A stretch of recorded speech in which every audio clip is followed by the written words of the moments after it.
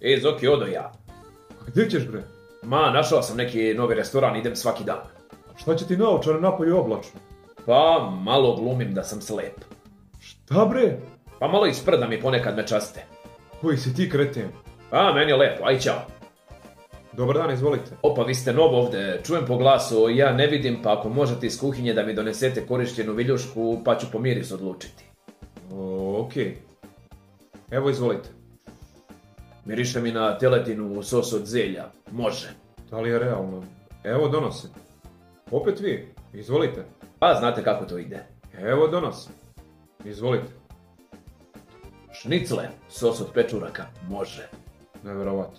Da, da, standard. Evo stiže.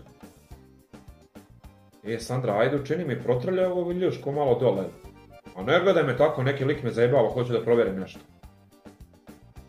Izvolite. Šta je ovo bre? O brate, pa nisam znao da Sandra radi ovdje.